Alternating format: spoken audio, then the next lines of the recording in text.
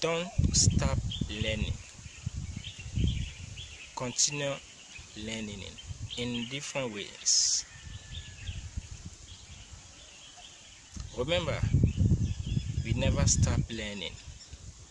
And let me tell you something the way the world is going now so you have to learn more. As you are learning as you are progressing in your mindset don't forget about that. Like and share my video